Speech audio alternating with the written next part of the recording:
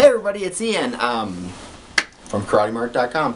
If you have ever called us to check on an order or check stock on an item, you probably have spoken with me. I usually answer the phone around here. And it is 5 p.m. on Monday right now, December 1st, and I just got the message, Ian, quick, make a video. We're going to extend Black Friday, so here we are. We're extending Black Friday. We've got a super successful weekend. We've sold a ton of swords, a ton of other stuff. And um, so I thought I'd put a quick video together and I will show you guys the hand-forged samurai katana, which is super awesome. So, if you order one of these guys, we've got a markdown from like 150 bucks to 49.95, something like this. This is what you're going to get. This box. Crack it open. On here, gosh. These are monsters.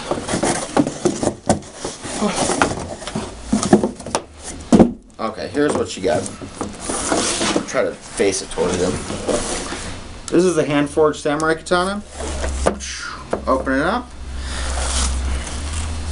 It's got a great wood case, by the way.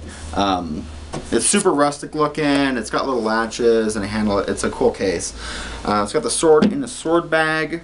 There's some styrofoam to hold it in there. There's a certificate of authenticity and a sword cleaning kit that's got the um, that little duster thing and some oil and like the rag and the parts to take it apart and the dowels and like everything you need right there to maintain it.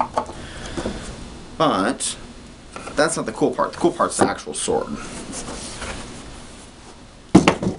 And it's this guy right here. So this is just a um, it's like a felt bag. It's pretty soft. It's just the right size for the sword. And this is what she looks like.